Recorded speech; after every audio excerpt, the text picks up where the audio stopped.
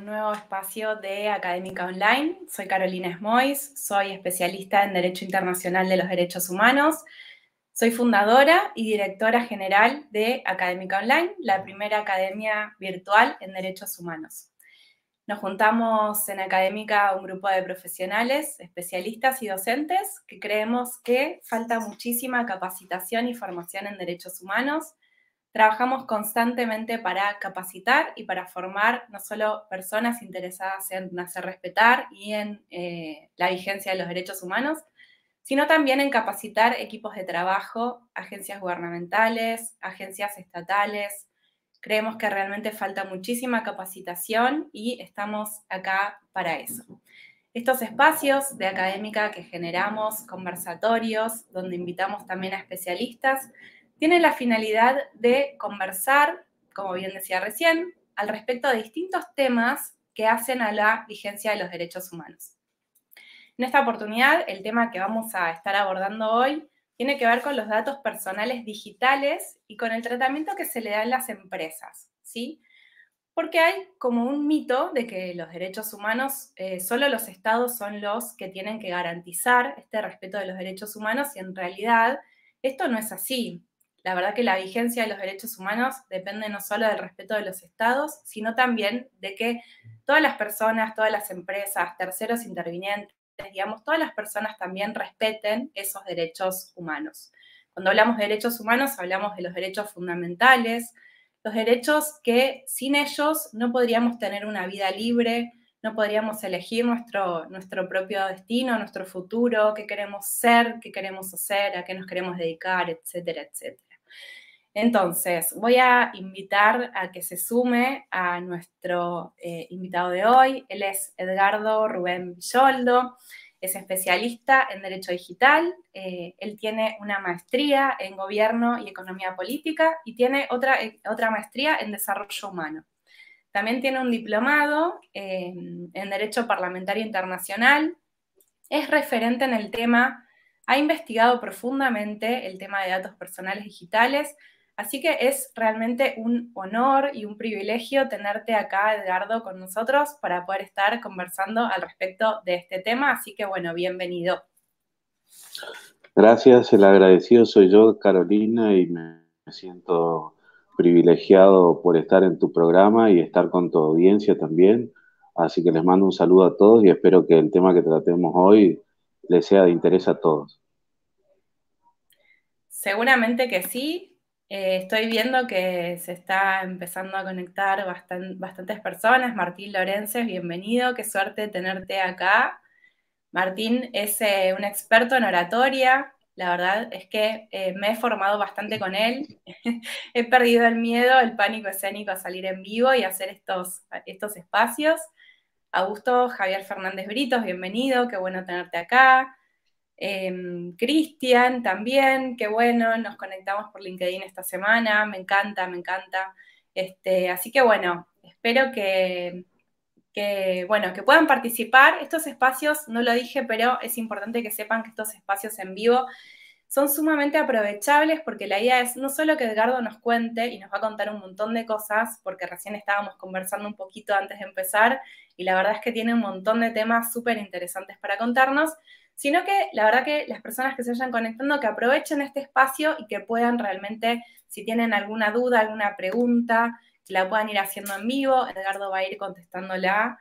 Eh, si yo la puedo contestar también, como saben, eh, soy especialista en Derecho Internacional de los Derechos Humanos, en todo lo que es el Sistema Interamericano de Protección, así que vamos a ir conversando entre Edgardo y yo de todo lo que, de todo lo que vaya surgiendo y todas las dudas, de preguntas, de, de curiosidades que tengan también las vamos a ir, las vamos a ir mostrando acá en el vivo y las vamos a ir contestando. Bueno, Edgardo, eh, hablamos un montón y ahora es momento de hablar eh, para, todas las personas que están conectadas también. Así que, ¿qué te parece si nos contás un poquito eh, la historia de esto de, de, los datos personales digitales, ¿no? Dale, dale. Mira, bueno, para iniciar me gustaría hacer un poco de... Hola, ¿sí? Ahí está.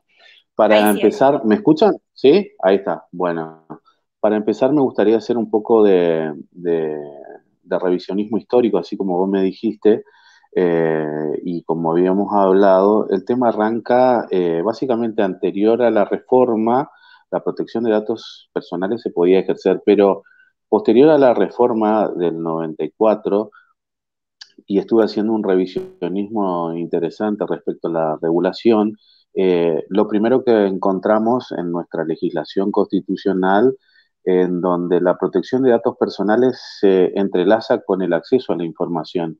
Entonces, desde el punto de vista constitucional, en el artículo 38 de nuestra Constitución, se entrelaza con la, con la protección de datos personales cuando el artículo habla del acceso a la información pública, el artículo 41 también, cuando habla del medio ambiente y habla de la información y de la educación eh, ambiental, en el artículo 42 de los derechos de los consumidores, también cuando habla de la información adecuada, y obviamente en el denominado artículo 43, el famoso habeas data.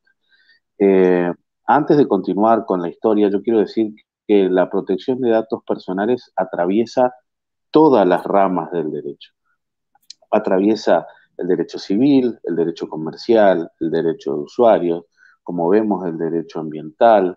Entonces es una materia que tiene una, un abordaje que tiene que ser necesariamente holístico desde el punto de vista tanto de las organizaciones, como vos decís, eh, público-privadas, desde el Estado y desde el ciudadano como un valor intrínseco hacia su personalidad y hacia el cuidado del mismo de, carácter sumamente importante.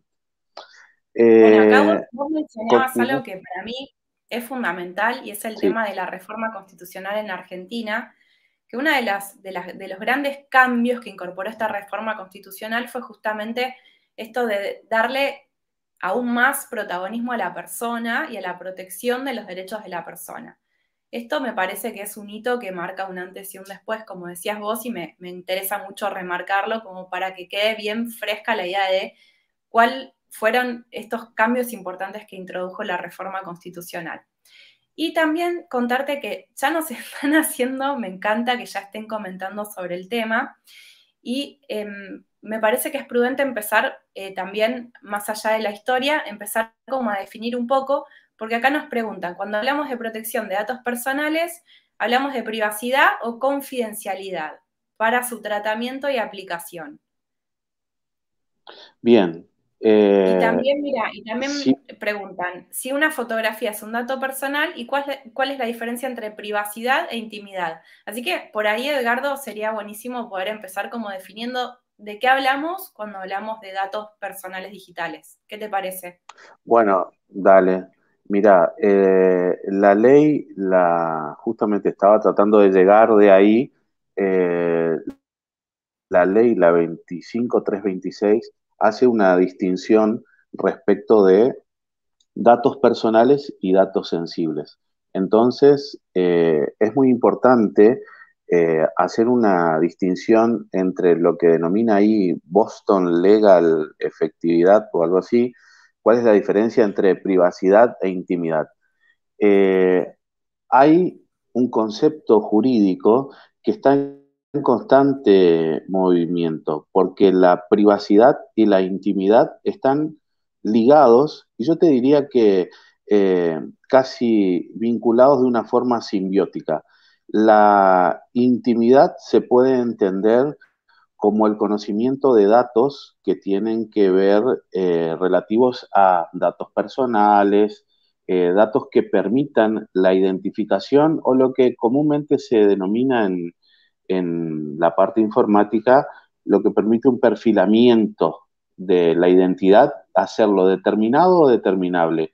Y la privacidad que está específicamente regulado como en el artículo 18 de la Constitución para nosotros, los abogados, y para la ciudadanía está como un tema exento de los magistrados, más que nada relativo a cuestiones que tienen que ver con el la estricta actividad que debe quedar fuera de toda eh, normativa legal, ¿sí? Hablando en profano, es como... de reserva, ¿no? Exacto, es lo que comúnmente se llama, desde el punto de vista de política criminal penal, el principio de reserva. O sea, son esas acciones que están reservadas desde la vieja normativa a Dios y a nuestra conciencia, que no deben ser eh, entendidas, juzgadas, puestas a, público, porque eh, su riesgo implica eh, una difamación o poner en riesgo cuestiones que la verdad que no tienen ningún interés y que no afectan de ningún modo a la sociedad ni a terceros. En pocas palabras, son los hechos más privados, las cosas que nosotros no queremos que salgan a la luz y que por suerte en la Argentina tenemos ese derecho. ¿Qué ha sucedido con la normativa desde la historia? Eh, no sé si contesté la, entre la privacidad y la intimidad, ¿sí? Eh, una foto creo que habían preguntado, es un dato personal, es un dato personal, en tanto la fotografía, la fotografía eh, permita la identificación de eh, el sujeto que se encuentra en la fotografía, porque la fotografía de un paisaje per se no significa nada. la fotografía íntima. A ver, Edgardo, si sirve el ejemplo que se me acaba de ocurrir. Digamos, si yo tengo eh, una, identificación personal, un pasaporte, un, un, un, registro de conducir, y ese registro de conducir tiene mi fotografía, eso sería para, eh, digamos, tiene que ver con la identidad. Ahora, si yo eh, estamos hablando de una fotografía mía, por ejemplo, ¿no? Con, una pareja, eh, y eso, digamos, está en las redes sociales, sin mi consentimiento podría afectar mi privacidad. Exacto, exacto. Más cuando la situación que revela la fotografía es una situación de contenido eh, muy íntimo a la cual vos no querés dar conocimiento a nadie. Por ejemplo, eh, una relación de pareja en donde vos querés permanecer totalmente eh, exenta del conocimiento de terceros, que es un derecho que tenés. ¿Cuál es el ejemplo que me parece que se da hoy, Carolina, más, más tangente y más peligroso desde el punto de las redes sociales? es lo que se denomina el sexting o el intercambio de fotos, de contenidos eróticos, donde se ven la imagen del cuerpo desnudo o en situaciones de, desnudez o en situaciones eh, donde hay cuestiones sexuales implícitas o donde se, se exterioriza por medio de las imágenes, cuestiones que atañen a cosas que moralmente por ahí no son muy bien vistas. Creo que por ahí pasaría el, tema de, la afectación en la fotografía. Eh, la fotografía, como dije, per se no constituye un dato personal, a menos que por medio de la, fotografía, así como vos decías, la imagen tenga un contexto válido.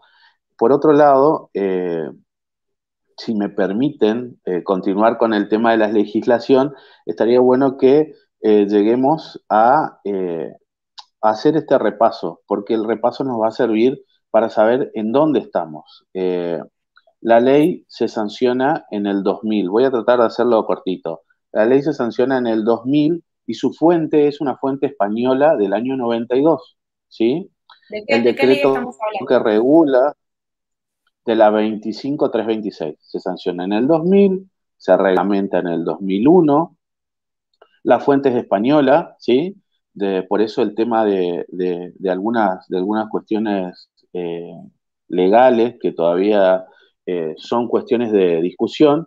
Y en el 2002 se crea una agencia, ¿sí? Una agencia, una dirección eh, de protección de datos personales. En el 2008 se introduce por medio de la ley 26.343 un artículo, el artículo 47, que establecía una primera cuestión del derecho al olvido, algo relacionado con la protección de datos personales del de, eh, tema de solvencia patrimonial y créditos de deudores, o sea, se ingresa una normativa tuitiva desde el punto de vista de los derechos humanos, el derecho al olvido que vamos a ver más adelante eh, cuál es la importancia de esto, de la conservación de estos datos.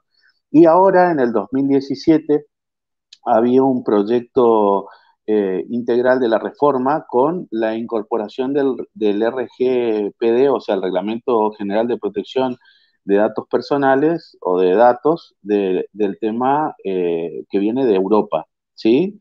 Y eh, es importante, es importante tener en cuenta cómo funciona la materia de protección de datos personales.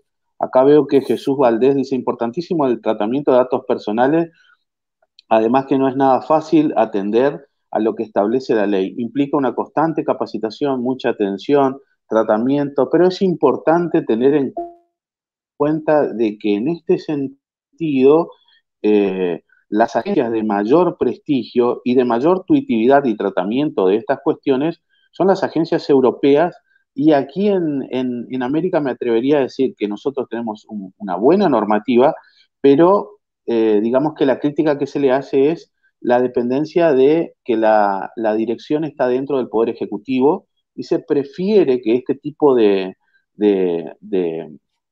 entidades estatales estén fuera de los poderes para que tengan realmente una autonomía y puedan generar eh, normativa eh, tuitiva de, primera categoría. lo más importante también es decir que respecto de la normativa internacional, Argentina está desde el, desde el 2002, eh, a través de una directiva, la 95-46, está dentro del convenio 108, que también es una normativa eh, que trata el tema de protección de datos personales. En España tenés un muy buen órgano eh, público y en, el, en México también hay otro que se llama el INAI, el Instituto Nacional de eh, Instituto INAI, no, recuerdo ahora la sigla, y en el Consejo Europeo, a través del Comité de Ministros, también genera constantemente normativa de carácter tuitivo. ¿Por qué? Porque hasta, se, o hasta al momento de sancionar todas estas leyes, el tema de la inteligencia artificial, Caro, era un factor que no era preponderante en el tratamiento de los datos personales. Ahora, ¿qué pasa? Cuando la intrusión de esta nueva tecnología de procesamientos, la Big Data y otros factores tecnológicos se potencian exponencialmente, el tema de la normativa y de mucha de, de nuestro tratamiento de que eran sujetos los que procesaban los datos y los que hacían el tratamiento, bueno, quedó un poco eh, a destiempo. Entonces, a mí me parece que es ahí donde...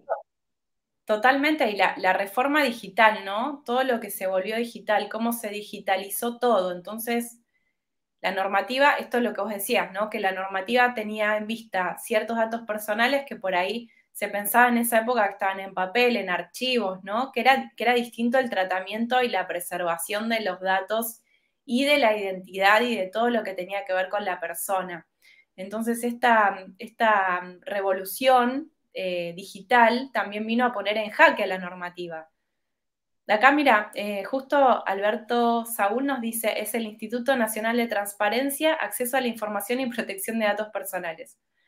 Me encanta que nos, que nos aporten porque, con, te digo, con, sí. con, con, con él te digo, eh, tuvimos, sí, sí, con él estuvimos en, en, muchas charlas juntos, es alguien que sabe muchísimo, es alguien que está ahí en la trinchera, es un experto en ciberseguridad y constantemente yo lo consulto porque es muy estudioso del tema, aparte profe de, de la FACU. Y, y bueno, la verdad que entiendo eh, que nuestra normativa y a, lo que el objeto de la charla es eh, la siguiente, generar una, una propuesta dinámica entre el sector privado y los titulares de los datos para que armonicemos intereses. O sea, como vos bien decías, mi pregunta es, eh, ¿es posible generar este factor de calidad el, el tema de los derechos humanos como un factor de calidad empresarial tuitivo porque ya no pasa tanto, y eso es lo que veníamos discutiendo con él, de las herramientas. Las herramientas van mutando, se van disparando, eh, van cambiando, y, creo que el, el, principio de confianza que hoy se encuentra invertido desde el punto de vista de la ciberseguridad, él me decía, hoy todo es sospechoso, salvo que se demuestre lo contrario. Anteriormente era todo funcionaba de una cierta forma y los comportamientos anómalos de distintos lugares de la empresa se registraban como algo eh, que podía potencialmente ser dañino. Hoy todo es dañino hasta que demuestre lo contrario. Entonces, estamos en, una etapa donde eh, tenemos que volver a implantar los principios de confianza bajo ciertos aspectos. Y yo creo que el factor de calidad que va a desencadenar eso va a ser las empresas que articulen los derechos humanos como factor de calidad, con todas las nuevas tecnologías. Los sesgos, bueno, están siempre. Ahora, eh, no creo que tomar normativa internacional sin aplicar una tuitividad de nuestra normativa, que es avanzada en ciertas cuestiones, y que incluso no es conservadora, sino que por el contrario sigue el principio progresivo de los derechos humanos, entiendo yo que es eh, el lugar a donde debemos ir con la tecnología. Debe ser, eh, como se dice, la frontera de la tecnología en materia de tratamiento y protección de datos personales. Bueno, pero Edgardo, estábamos hablando de la normativa y estábamos hablando de que hay una brecha entre la normativa y la aplicación práctica, ¿no? De esta normativa. Tenemos normativa, sabemos que está desactualizada por el tema de la revolución digital y es como que siempre la normativa, de alguna manera, para hacerlo gráfico va corriendo atrás. Entonces, para, eh, eh. según, que vos, según tu criterio, ¿vos pensás que ¿Hay alguna forma de, implementar prácticamente la normativa que existe o te parece que realmente es insuficiente todavía la normativa que tenemos como para resguardar los datos personales digitales eh, de las personas y sobre todo en el marco empresarial, ¿no? Yo entiendo que desde, desde el contexto en el que estamos en Argentina y sobre todo en, en materia de ciberseguridad y como decíamos del tema de las pymes, eh, y antes de emitir esta opinión, dialogué con varios, eh, con varios colegas que se desempeñan en, pymes. Eh, la verdad que me dicen que es un costo, es un costo que por ahí muchos no la consideran. De hecho, la mayoría de las pymes no tienen una estructura de ciberseguridad y no tienen por ahí la capacidad operativa de pensar que el solo hecho de subir sus bases de datos a una nube, que implica una computadora en algún lugar del mundo que no está en la Argentina, implica que la vulnerabilidad ante una brecha de seguridad de ese servidor que estamos nosotros eh, depositando nuestra confianza en una nube y en el tratamiento y etcétera, etcétera, si se vulnera ese servidor, se copia, se quitan, se realizan algunas acciones que vulneren esa protección de datos, la pequeña pyme que está depositando su confianza en otra que le hace, eh, que guarda esos datos, la verdad que el usuario no tiene ni idea y la verdad que la notificación de la que habla la ley al titular de los datos por un episodio de vulneración de datos tampoco no existe. Y la verdad que la operatividad de la dirección de datos personales eh, resulta casi imposible. Te diría que eso quedaría como lo que hacemos penal o los que estamos en la parte penal, directamente queda como un eh, elemento de la cifra negra de los delitos. Por eso, de vuelta, me parece que la sinergia, más allá de las normativas, y que necesariamente como sucede, y en esto, Caro, es el tema comercial, eh, los bancos, las grandes empresas traccionan a las pequeñas y las medianas a un tratamiento y a, una normativa europea necesariamente, yo creo que involucrarnos todos, tomar conocimiento de que esto es súper importante, tomarlo como un factor de calidad, eh, yo creo que el, empresariado argentino eh, lo podría hacer y creo que por ahí esa interacción desde la perspectiva de los derechos humanos, te diría que es autooperativa indiferentemente de eh, el letargo, si se quiere, eh, del poder legislativo en las reformas que se tienen que hacer. Pero necesita que alguien se involucre, necesita, como vos decís, capacitación, necesita interacción y necesita haber, un, eh, tenemos que tener un ida y vuelta entre los dos factores, entre el titular del dato, que va a poner una exigencia, y el que lo trata, eh, tratar de responder a eso y armonizar eso. Bueno, lo que pasa que mientras vos hablabas, la verdad que se me venían varias, varias cuestiones que tienen que ver no solo con, nuestros derechos, claramente eh, creo que la, la, frontera entre poder realmente hacer valer nuestros derechos o no tiene que ver con conocer nuestros derechos. Cuando hablamos de la ciudadanía, decir, bueno, yo, mis datos personales, los datos personales que tiene la empresa donde yo trabajo, yo tengo derecho a que sean preservados y que no digamos, estén eh, en la nube, como decís vos, en, un servidor, andás a ver en, qué país. Y por otro lado, también el, me encantó esto que dijiste vos de involucrarnos, ¿no? Porque, como decía al principio, se piensa que el, deber de respetar los derechos humanos es solamente del Estado. Y en realidad, no solo la normativa, sino los principios, el principio de progresividad de los derechos humanos ¿Cuál es la tendencia? A que sean respetados no solamente por el Estado, sino por todas las personas, por todas las empresas, por todas las instituciones. Entonces esto requiere, requiere sí o sí este, este involucramiento, ¿no? Decir, esto no me pasa por el costado, esto es importante no solo para la persona, sino también para las instituciones. Y lo que se me venía era, porque hablamos hace un rato de este tema, que esto también trae beneficios a las empresas. No es solamente decir, bueno, invierto en proteger los datos personales digitales de, mis empleados, sino que puedo tener beneficios haciendo esto. ¿Nos puedes hablar un poquito de, qué, cuáles serían esos beneficios que, la empresa eh, obtiene a través de esta protección de datos personales?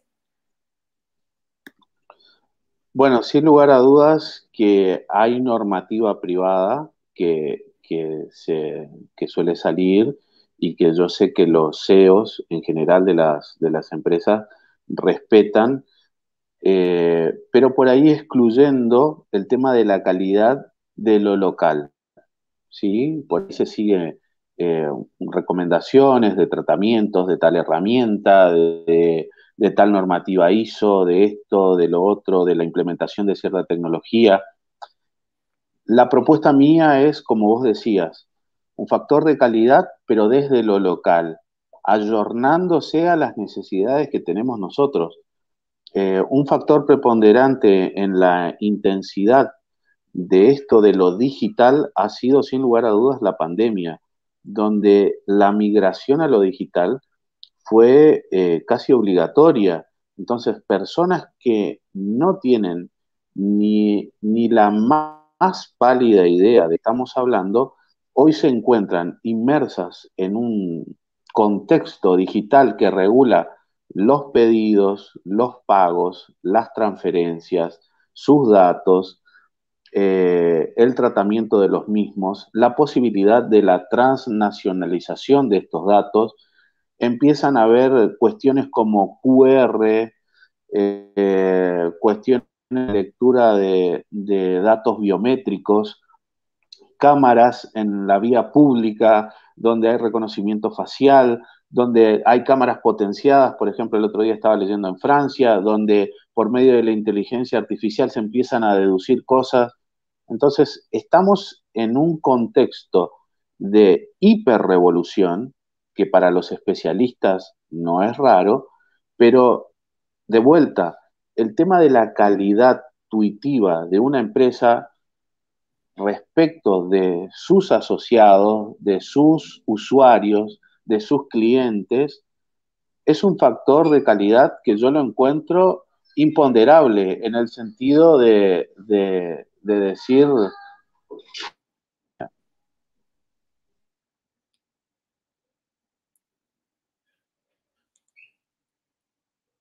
No sé si yo dejé de escuchar, no sé si se sigue escuchando Edgardo, soy solo yo que a ver si me pueden Estoy viendo los comentarios, pero no sé si están escuchando Eduardo. Ahí, ahí sí, está, ahí, ahí me escuchás. Ahí sí. Eh, lo que decía era lo siguiente, que lo que esta interacción entre el sector empresarial y sus usuarios o consumidores se traduce en un factor necesariamente de calidad que a lo largo del tiempo es otro factor de calidad que es el tema de la seguridad. Una vez que uno tenga esa confianza, porque de nuevo, la seguridad está eh, casi en simbiosis con la protección. ¿Sí? Si no tenemos buena seguridad, difícilmente vamos a poder dar protección. Las herramientas son muy dinámicas, como hablábamos, las herramientas se actualizan constantemente. Nuestra normativa de vuelta tiene una intención y tiene principios que siguen vigentes. Fíjate que desde 1992 al día de hoy, los principios están vigentes. Por ahí lo que queda desactualizado son las modalidades de la interacción y factores preponderantes que hacen que necesite tratamiento, pero tratamiento público-privado, como vos decís, involucrarnos a todos eh, y necesariamente el resultado sí o sí es un factor de calidad. Yo me gustaría ver que dentro de las empresas... Perdón que te interrumpa, pero no quiero que se me vaya.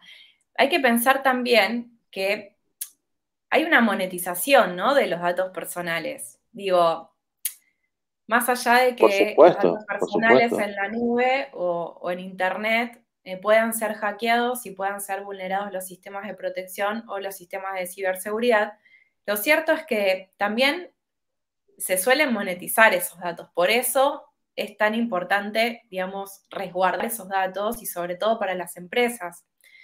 Porque no nos olvidemos que esto eh, y esto sí es uno de los beneficios que tiene para la empresa proteger los datos personales, puede generar demandas y demandas importantes con respecto a que los datos personales que tendría que resguardar la empresa en cuestión eh, sean públicos o, transgredan, digamos, eh, el, ámbito de intimidad de las personas, ¿no? Entonces, me parece que, no hay que perder de vista esto también, que hay, hay una monetización de datos personales, que protegerlos realmente también evita eh, problemas futuros a la empresa y a las personas vinculadas a la empresa. Mira, em, voy a aprovechar esta interrupción que hice para decir algo que es súper importante. Nosotros eh, damos certificados de asistencia a este conversatorio, así que los que quieran tener certificado de asistencia les pido que comenten porque después nosotros ah, eh, de, esos comentarios sabemos quiénes realmente participaron del conversatorio y en la semana ya les estamos haciendo llegar su certificado de asistencia para que lo puedan compartir en esta comunidad profesional y sepan que están interesados en los derechos humanos, que están comprometidos con la causa, que se están capacitando, así que los invito y las invito a eh, justamente a comentar, a decir acá estoy, a, a participar también, obviamente. Mira, tenemos un montón de comentarios y yo no sé por dónde empezar, pero bueno, este, acá el que estaba comentándonos algo súper importante es, eh, se me perdió, ah, eh, LinkedIn User, que, que, es en realidad Mónica Navarrete de Chile. Me encanta porque tenemos gente de Chile, de México, de Argentina, de todos lados. Oh, eh, nos dice, igual Sí, eso me encanta, me encanta, me encanta, me encanta esto, que el conocimiento circule, circule y que, que podamos tener espacios donde las barreras territoriales no sean un obstáculo para el conocimiento. Bueno, Mónica nos dice, igual se vulneran los sistemas y se trata de corregir y se caen graves falencias, porque ya han sido mal utilizados los datos. Este... Mm, sí, eso es cierto, eso es cierto y, a ver, hay una realidad, Caro, eh, y no me van a dejar mentir los, los que están en la parte empresarial, y esto está tras bambalinas en el sentido de lo siguiente. Hay muchos eh, hechos de ciberseguridad que no se reportan.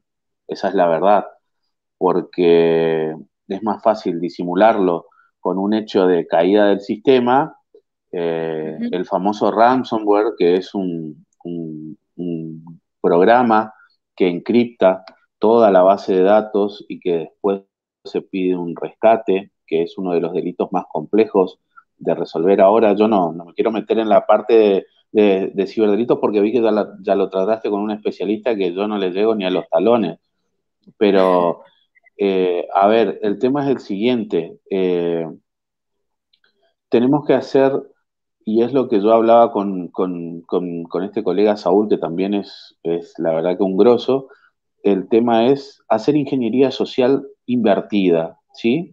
La ingeniería social generalmente apunta a vulnerar cuestiones de descuidos de los recursos humanos de una empresa encargada de la protección o la ciberseguridad y a través de esos descuidos se realizan y se obtienen datos para vulnerar o para eh, infringir la ciberseguridad. Yo creo que lo que le propongo desde los derechos humanos como factor de calidad es hacer una ingeniería social inversa a la que realizan los ciberdelincuentes y es empoderar, que es el fin o el norte de los derechos humanos, a toda la sociedad y a todos los involucrados frente a un sistema de tratamiento de datos personales.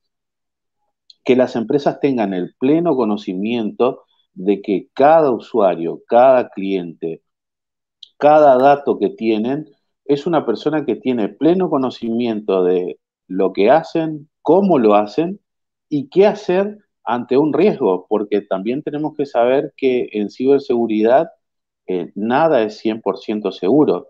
Y de hecho, eh, el tema de ciberseguridad exige, como decía hoy una persona, capacitación, intervención, eh, interacción, y por eso de vuelta, el factor de calidad de los derechos humanos traducido como eh, una ingeniería eh, en pro de, la, del empoderamiento de estas personas. Y podemos hacer un, desglose, una segmentación, como nosotros hablábamos, donde podemos intensificar la normativa tuitiva respecto de sectores más vulnerables, como yo te decía, en donde ese factor de calidad se dé a publicidad.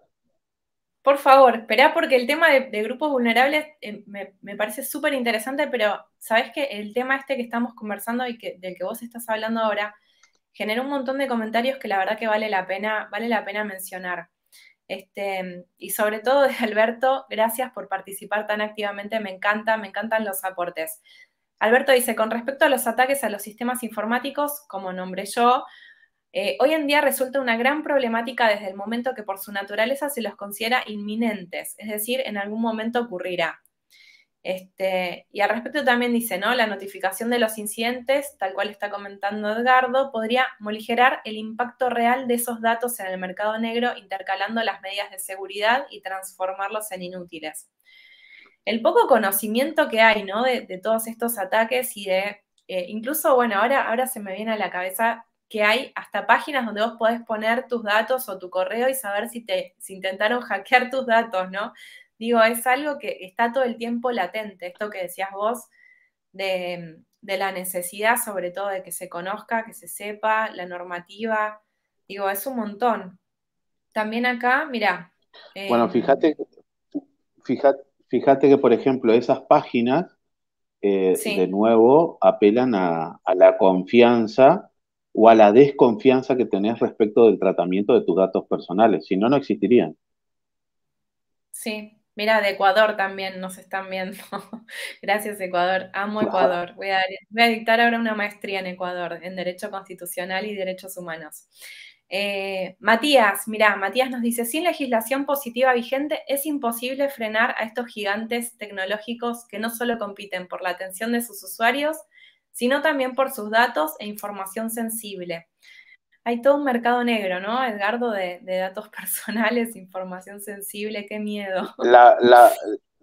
sí, la verdad que la, verdad que, eh, la red o, la informática dejó de ser eh, lo que antiguamente era un espacio de divertimento para pasar a ser un lugar donde necesariamente se necesita asesoramiento de alguien especializado. Eh, en ese sentido, a ver, eh, Saúl, yo lo recomiendo porque es un grosso, la verdad, pero a mí me gustaría tener a alguien como Saúl, que es abogado especialista, y además tener a alguien como vos, Carolina, que le dé el aspecto tuitivo a todo. O sea, una auditoría en derechos humanos respecto de la implementación y de la comunicación, sobre todo, como factor de calidad. Qué importante es ver una empresa donde la segmentación, como veníamos diciendo, de lo vulnerable, se, compromete o se pone a disposición del cuidado de los más, de los más débiles. Es que falta... Frente a todos los peligros de estos nuevos, yo creo que...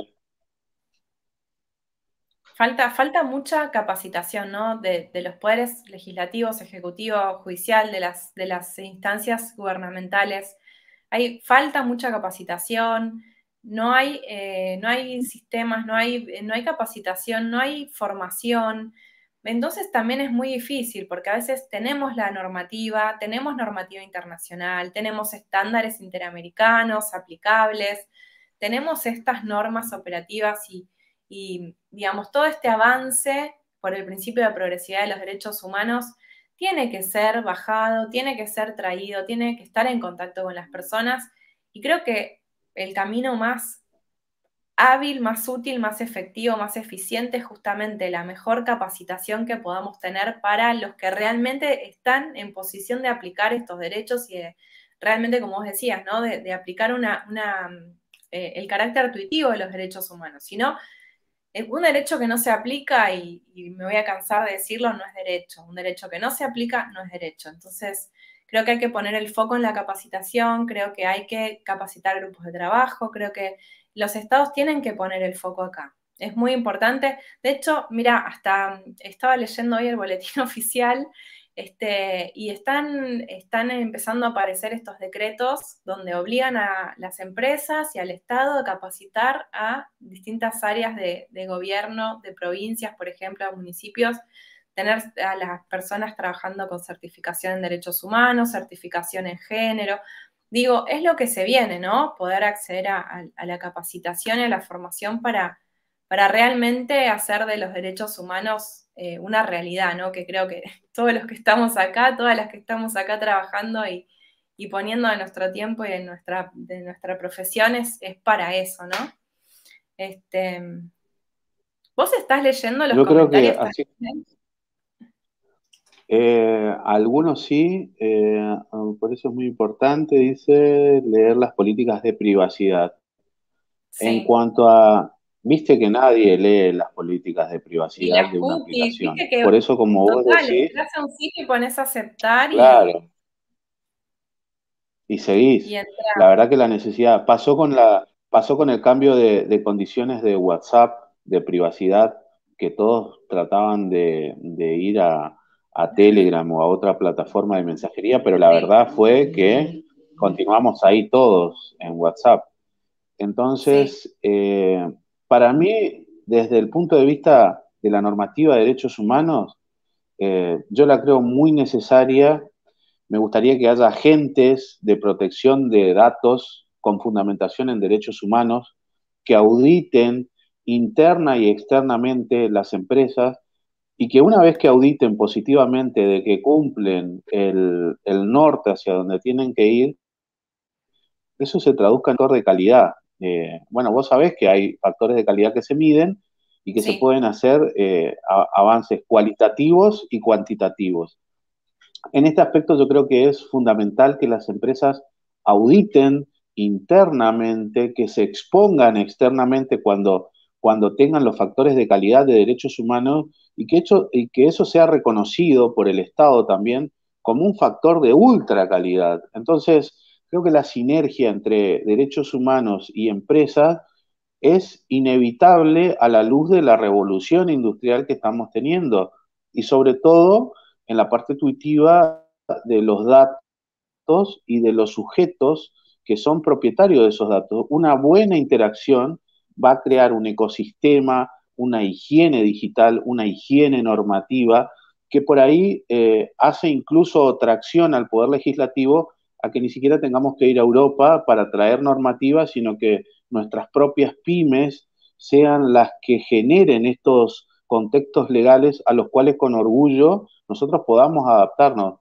Esa es mi propuesta. Eh, como vos decís, es un camino largo eh, y que con compromiso yo creo que lo podemos llegar porque no, no, se trata de caminar sobre la superficie del sol o tocar el cielo con las manos, sino simplemente generar compromiso desde la parte empresarial, desde las autoridades, desde el tercer sector, eh, de, las ONG comprometidas con esto.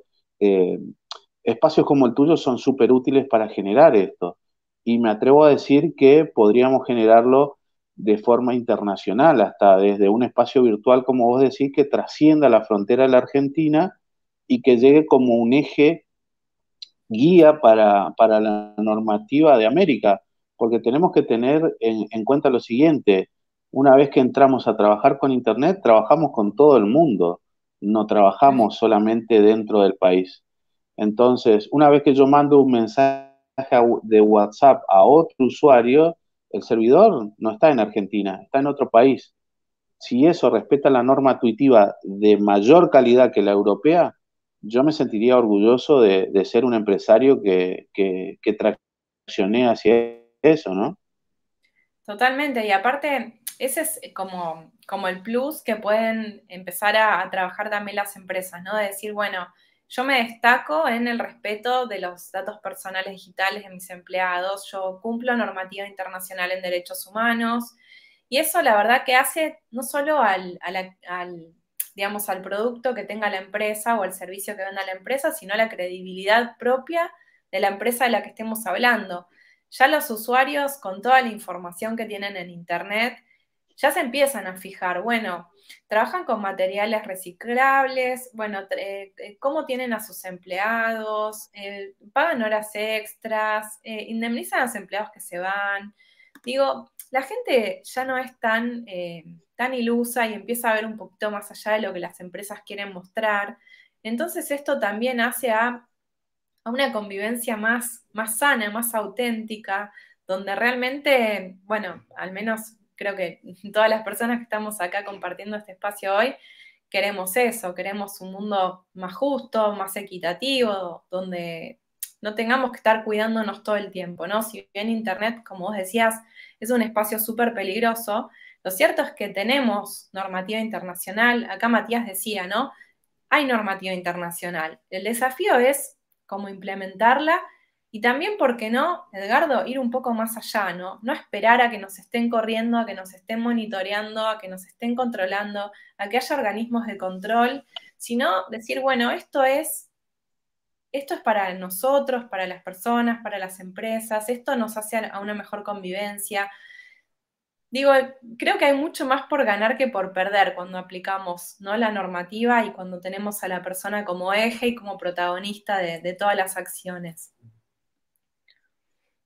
creo que salir un poco de, a ver, la ideología de que también como abogados nos enseñan en la facultad, como yo te decía, cuando hice la maestría en, desarrollo humano en Flaxo, a mí me abrió mucho la cabeza y creo que salir de, esa, eh, de ese pensamiento de matriz estadocéntrica, hasta que no esté la norma, yo no la cumplo, sino que el sector privado agarre lo que generalmente se llama, o sea, reciba la jugada y genere un juego mucho más dinámico y mucho más tuitivo, pero no como un palo en la rueda, no como acciones que demanden un costo, sino por el contrario, ver que esa dinámica tuitiva más eh, acelerada que el mismo Estado le genera un plus, como vos decías, una especie de plusvalía respecto de los datos que está tratando y sobre todo generar en el sujeto titular de esos datos la tranquilidad y la confianza de que el riesgo es mínimo. Eh, hoy, protección, riesgo, ciberseguridad con derechos humanos sería el factor de calidad 4.0, te diría. Mira, me encanta, me encanta ese, ese concepto, decir, bueno, así como, como, cumplimos o como deberíamos cumplir las normas ISO, las normas de calidad, tenemos normas de calidad en derechos humanos, ¿no? ¿Qué es lo que se viene en compliance internacional? ¿Qué es de lo que hablamos en nuestro primer vivo el mes pasado? Eh, con la empresa Compliance Ecuador y hablábamos sobre todo de esto, ¿no? De decir, bueno, es un estándar de calidad esta, este objetivo de respetar los derechos de las personas con los que trabajamos, eh, que participan con nosotros, son parte integrante de las empresas. No nos olvidemos que las instituciones tienen personas atrás, las constituyen las personas y se crean para, atender necesidades de las personas. Entonces, no perdamos el foco. Mira acá, em, nos dicen, el uso de datos no en todos los países se tratan con la confidencialidad que amerita, que incluso en algunos países no es tema o no es delito. Es un absurdo, pues en la especie anda mi vida pululando en el espacio virtual, totalmente. Acá em, invité a, los que nos están mirando, a los que nos están mirando, a que hagan, un comentario, que nos digan qué, pueden sacar de esta charla. Este, nos dicen también la tecnología nos deja en indefensión y nos muestra vulnerables. Algo que se nos escapó de las manos por falta de leyes o regulación consciente.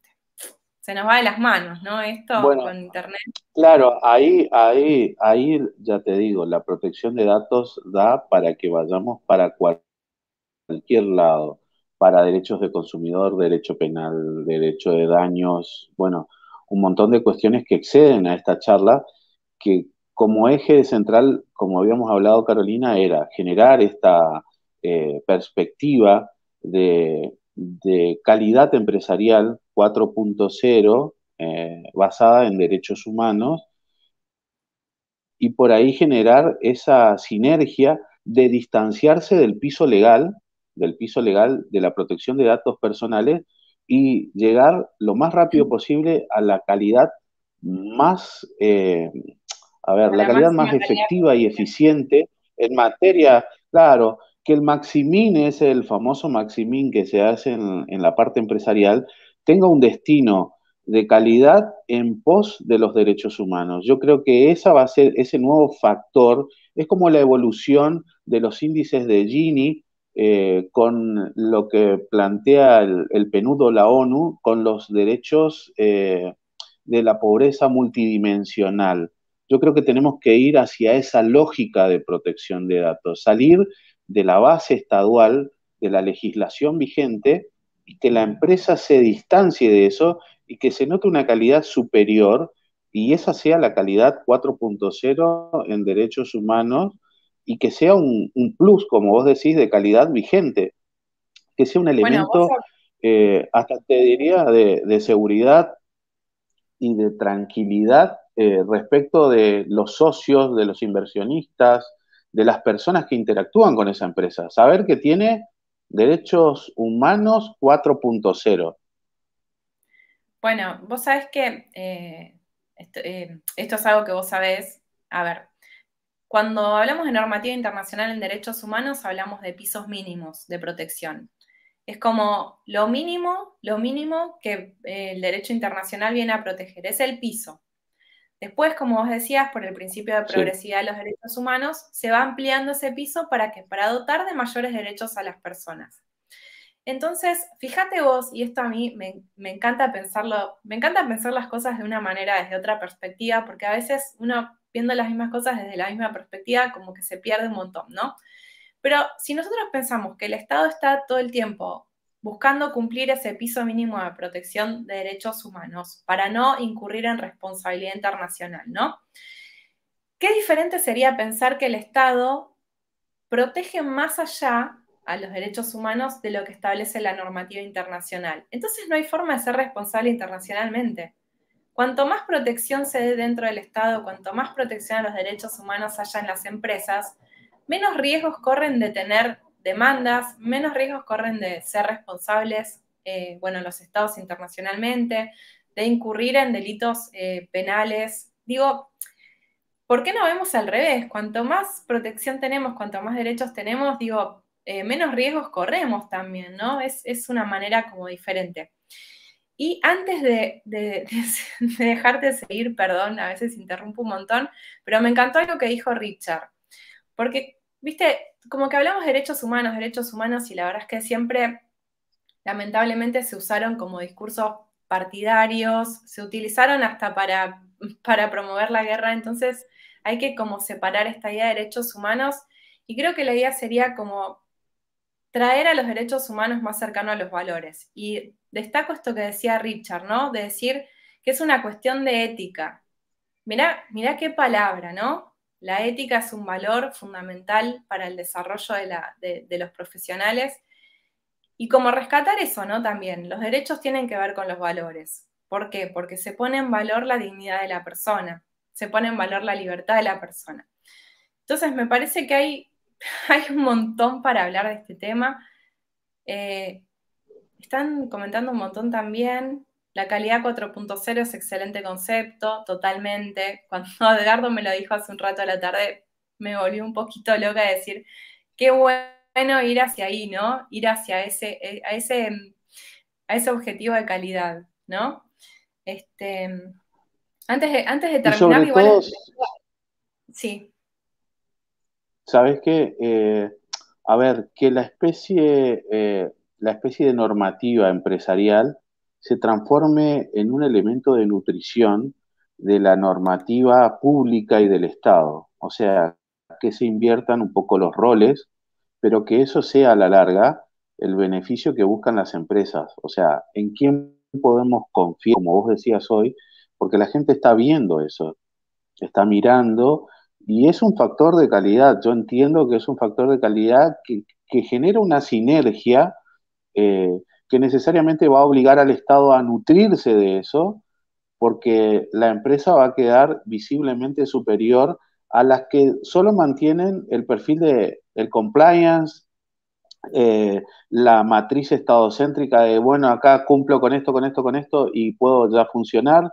Sin embargo, si subís el nivel tuitivo de tus normas de, tratamiento de datos personales, es un factor de calidad que la gente lo ve, lo mira, lo valora eh, y sobre todo entiende que los beneficia. Entonces, eh, a ver, es como encontrar la hamburguesa eh, rica, con buen gusto y que no engorda. Algo así, una Big Mac que no te engorda y que, que genera esa sinergia entre el sector privado y, genera, y, tiene ese plus que vos mencionabas hoy de, llevar al crecimiento y de generar estas empresas unicornio que, hoy son las que generan mucho dinero en una calidad que hasta hoy, eh, bueno, eh, solo es cuestión de ponerse manos a la obra.